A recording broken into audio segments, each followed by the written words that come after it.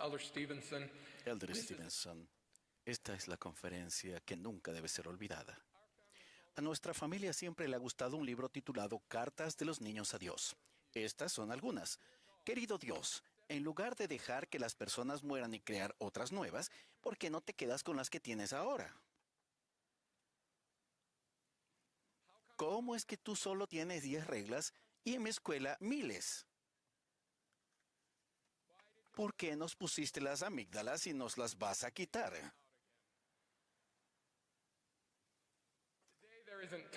Hoy no tenemos tiempo para responder estas preguntas, pero hay otra pregunta que se hacen los jóvenes y que quisiera tratar. Desde Mongolia hasta Idaho en los Estados Unidos, la pregunta es la misma. ¿Por qué? ¿Por qué los santos de los últimos días debemos vivir de un modo diferente al de los demás? Sé que es difícil ser diferente, sobre todo cuando eres joven y quieres agradar a los demás. Todos desean pertenecer y esto aumenta de manera insana en el mundo digital, lleno de redes sociales y ciberacoso. Entonces, con tanta presión, ¿por qué los santos de los últimos días viven de una manera diferente? Hay buenas respuestas, porque ustedes son hijos de Dios, porque han sido reservados para estos últimos días, porque son discípulos de Jesucristo. Pero estas respuestas no siempre los diferencia de los demás. Todos son hijos de Dios.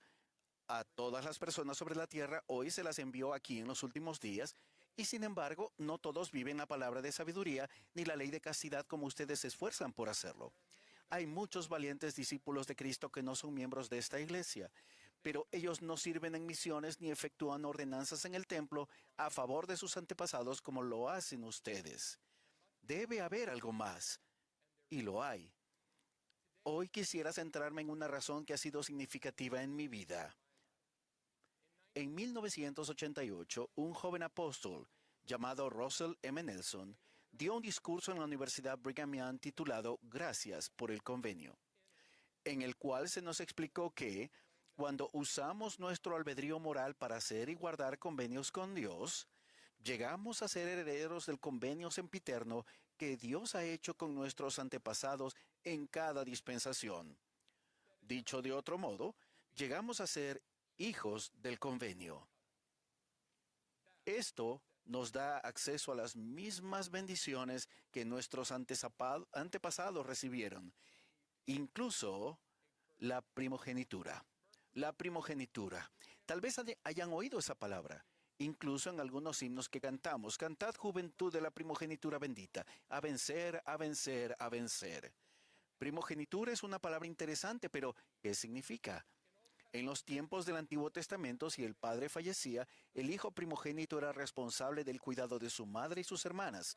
Los hermanos varones recibían su herencia y partían para seguir su camino, pero el primogénito no iba a ningún sitio, sino que se casaba y tenía su propia familia, pero había de quedarse hasta el fin de sus días para dirigir los asuntos de su padre.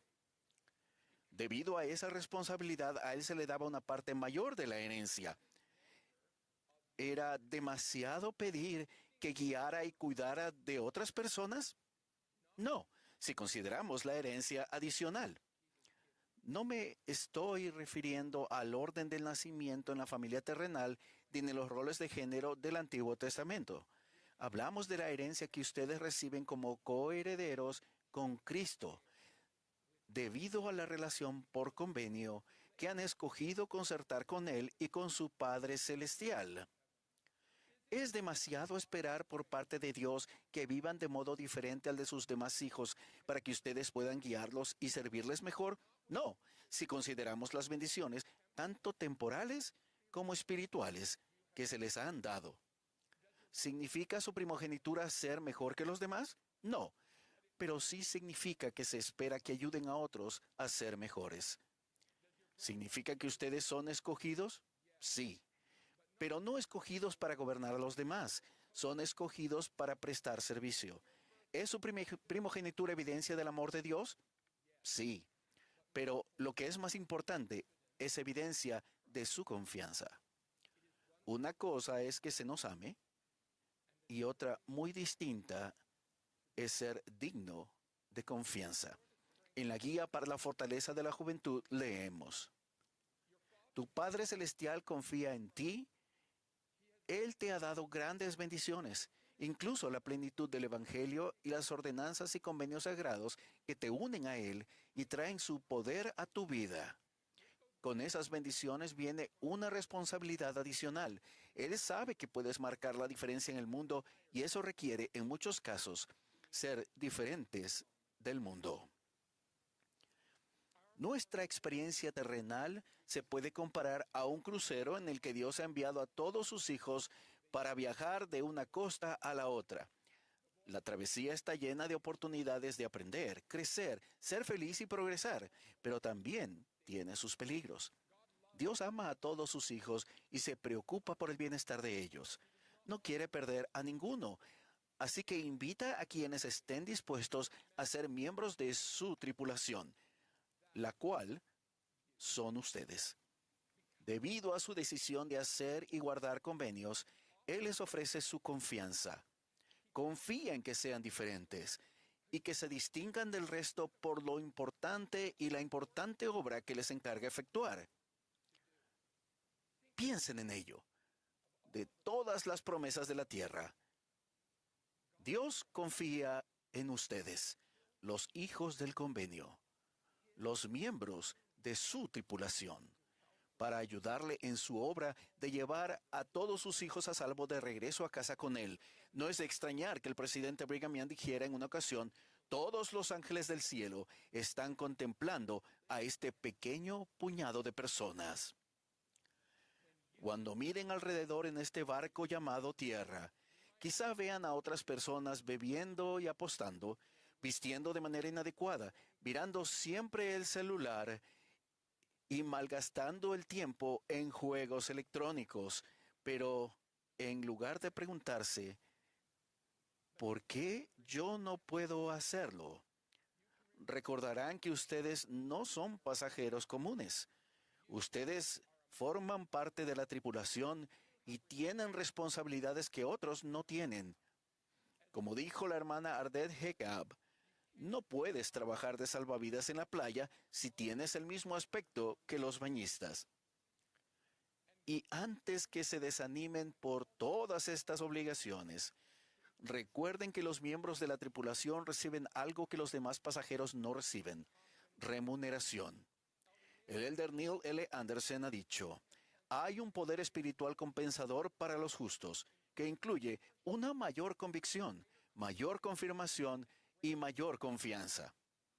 Tal como Abraham, ustedes reciben mayor felicidad y paz, rectitud y conocimiento. Su remuneración no es solo una mansión en los cielos con calles pavimentadas de oro.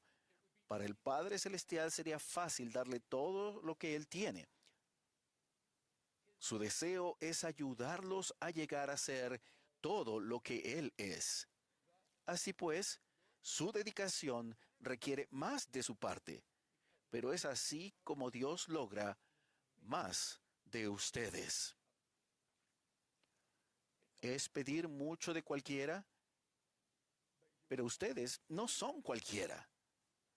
Son los jóvenes de la noble primogenitura. Su relación por convenio con Dios y Jesucristo es una relación de confianza en la que tienen acceso a una mayor porción de su gracia, a su ayuda divina, a una investidura de fortaleza y poder habilitador. Ese poder no es simplemente una ilusión, un amuleto de la suerte, ni una profecía autocumplida, es real. Al cumplir las responsabilidades de su primogenitura, Nunca estarán solos. El Señor de la viña trabajará con ustedes y ustedes trabajarán con Él codo a codo, con cada nuevo convenio y a medida que su relación con Él se profundiza. Se abrazan el uno al otro con más fuerza hasta quedar firmemente entrelazados. Hallarán tanto el deseo como la fortaleza para vivir como el Salvador vivió de una manera diferente al mundo como lo hizo el Salvador. Tienen esto porque Jesucristo los abraza a ustedes. Ustedes pueden hacerlo porque están entrelazados con Jesucristo. En segundo Nefi capítulo 2 versículo 6 leemos, por tanto, la redención viene en el Santo Mesías y por medio de él, porque él es lleno de gracia y de verdad. Él los ve como realmente son, con sus defectos, debilidades, remordimientos y todo. Dado que es lleno de gracia, Él los ve como realmente pueden ser, los recibe como son y los ayuda a arrepentirse y a mejorar, a vencer y a llegar a ser. Oh juventud bendita de la primogenitura, a vencer, a vencer, a vencer. Testifico que se les ama y que se confía en ustedes hoy, en 20 años y para siempre.